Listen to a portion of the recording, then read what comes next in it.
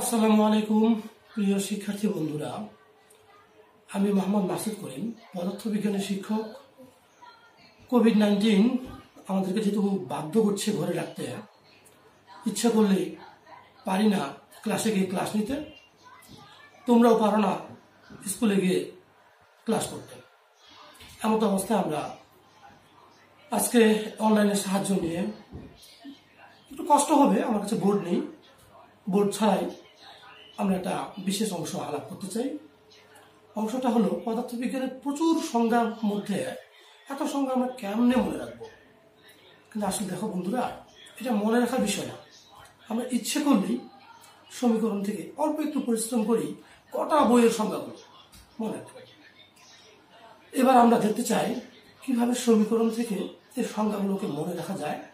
আমার বিশ্বাস, তোমরা যদি মনোযোগের সহিত পুরো অংশটুকু দেখো নিশ্চয়ই তোমরা সংজ্ঞা ভীতিটা তোমাদের কাছ থেকে সরে যাবে বলে আমার বিশ্বাস ইনশাল্লাহ এবার আমরা যে বিষয়টা নিয়ে দেখতে চাই, আজকে মূল আলোচনার বিষয় হলো সমীকরণ থেকে আমরা কীভাবে, সমীকরণ থেকে কীভাবে সংজ্ঞা লিখব তার কৌশল। প্রথম কাজ হলো প্রথমে আমরা সমীকরণের ডান দিকের হর, এরপর লব ও সবশেষে বামের অংশ ব্যাখ্যা করতে হবে। আচ্ছা তাহলে কি কি শিখলাম? আমরা কি দেখলাম? সমীকরণের ডান দিকের হর, এরপর লব ও সব সবশেষে বামের অংশ ব্যাখ্যা করতে হবে। কিন্তু বন্ধুরা, কীভাবে আমরা সমীকরণের হর, লব ও সব সবশেষে বামের অংশ ব্যাখ্যা করতে পারব? তার জন্য একটা নিচে কৌশল দেওয়া আছে, তোমরা ইচ্ছা করলে লিখে রাখতে পারবে। সমীকরণের হরের মধ্যে বা হরে যাই থাকুক না কেন, তার পূর্বে একক শব্দটি ব্যবহার করতে হবে। তার মানে বোঝানো হলো, হরে তোমার যাই থাকুক। এখানে যেই শব্দটা থাকুক, তার পূর্বে আমরা শুধুমাত্র একক শব্দটি ব্যবহার করব। এরপরে লবটা কীভাবে ব্যাখ্যা করব? লব ব্যাখ্যা করার ক্ষেত্রে মনে রাখব, দূরত্ব বা স্মরণ যদি থাকে, তাহলে অতিক্রম করতে হয়। বেগ থাকলে বৃদ্ধি বা হ্রাস করতে হয়। কাজ থাকলে সম্পন্ন বা শেষ করতে হয়। বল থাকলে প্রয়োগ বা প্রযুক্ত করতে হয়।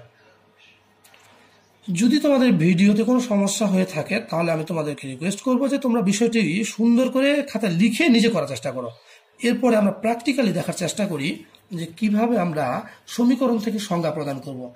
যেমন একটা সমীকরণ আমরা যদি বলি, বেগ সমান কি? বেগ সমান হল স্মরণ ভাগ সময়।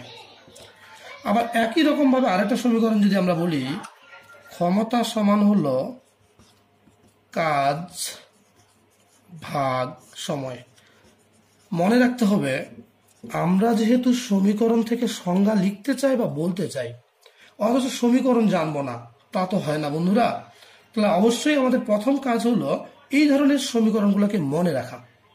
এরপর যে কাজটুকু আমরা করব, সেটা হলো উপরের ঘটনাটাকে কেন্দ্র করে কীভাবে আমরা এই সমীকরণটাকে সংজ্ঞায় রূপান্তরিত করতে পারি। দেখি এবার। আমাদের প্রথম কাজ ছিল হরে যাই থাকুক না কেন, তার পূর্বে একক শব্দটি ব্যবহার করতে হবে। লক্ষ্য করে দেখো, বেগের সমীকরণের মধ্যে এর হর কি আছে? হর আছে সময়। তাহলে এর পূর্বে আমরা কোন শব্দ ব্যবহার করব? সেই শব্দটা হলো একক। তাহলে এখানে কি আসলো? একক সময়। উপরে ছিল স্মরণ। আমরা বলছিলাম, স্মরণ থাকলে লবের ক্ষেত্রে কি করতে হয়? অতিক্রম করতে হয়। তাহলে কি হলো? একক সময়ে যে স্মরণ অতিক্রম করে তাকে বেগ বলে। তবে এক্ষেত্রে ভালো হয়, স্মরণ না বলে যদি আমরা বলতাম, একক সময়ে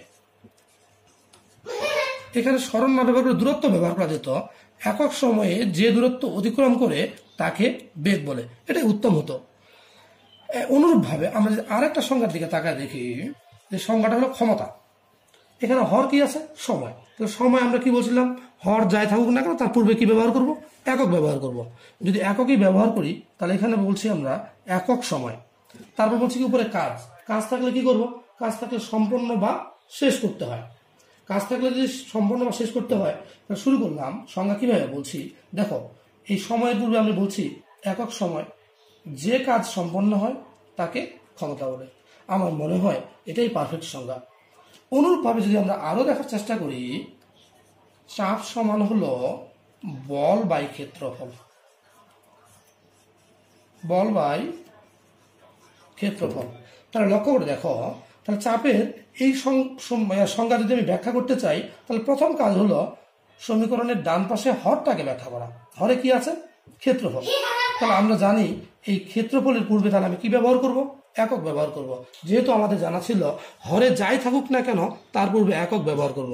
তাহলে এক্ষেত্রে যেহেতু ক্ষেত্রফলে, ক্ষেত্রফল আছে হর হিসেবে, তার পূর্বে আমরা একক ব্যবহার করব। তাহলে একক ক্ষেত্রফলে লব কি আছে? বল। বল থাকলে কি করব? প্রয়োগ বা প্রযুক্ত করব। যেহেতু একক ক্ষেত্রফলে যে বল প্রযুক্ত হয়, তাকে কি বলব? চাপ বলব।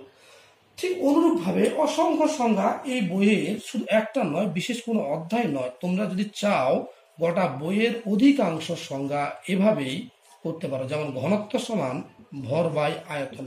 ঠিক একই রকম একক আয়তনের ভরকে ঘনত্ব বলে। পুরো বিষয়টাকে যদি আরেকবার ব্যাখ্যা করা যায় লক্ষ্য করে দেখো। পুরো বিষয়টাকে যদি আমরা আরেকবার লক্ষ্য করি, তাহলে বিষয়টা কেমন ছিল? বিষয়টা ছিল সমীকরণ থেকে আমরা সমীকরণ থেকে সংজ্ঞা লিখতে চাই। তো সমীকরণ থেকে সংজ্ঞা আমরা কীভাবে লিখব? সমীকরণের ডান পাশে হর আকারে যে যে অংশটা থাকবে, তার পূর্বে আমরা একক ব্যবহার করার কথা বলছিলাম। যেহেতু আমরা যেহেতু আমরা একক ব্যবহার করব, তাহলে এখানে বলব একক সময়ে উপরে দূরত্ব, একক সময়ে যে দূরত্ব অতিক্রম করে, তাকে কি বলব? বেগ বলব। ক্ষমতা বলে কি বলছি? একক সময়ে যে কাজ সম্পন্ন হয় তাকে ক্ষমতা বলে। চাপ একক ক্ষেত্র হলে যে বল প্রযুক্ত হয় তাকে চাপ বলে। ঘনত্ব বেলা বলছি একক আয়তনে যে ভর একক আয়তনের ভরকে ঘনত্ব বলে। এখন মজার বিষয়টা হলো শুধু একটা কোনো বিশেষ অধ্যায় নয়। আমরা যদি চাই কটা বইয়ের সমস্ত সংজ্ঞাগুলোকে অনুরূপ নিয়মে যদি ফেলে দিই তাহলে সংজ্ঞা মুখস্থ নয় বরং মনে রাখতে পারব।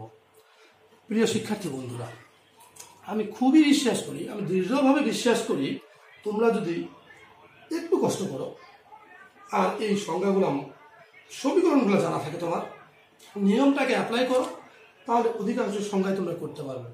মনে রাখবে, যেহেতু বোর্ড ছাড়াই একটা মানে টপিক নিয়ে আলোচনা হচ্ছে, যতটুকু সুন্দর উপস্থাপন হওয়ার কথা ছিল, হয়তো ততটুকু হয়নি। কিন্তু আমার বিশ্বাস মূল অংশটুকু তোমরা বারবার দেখলে নিশ্চয়ই সফলতার সঙ্গে করতে পারবে।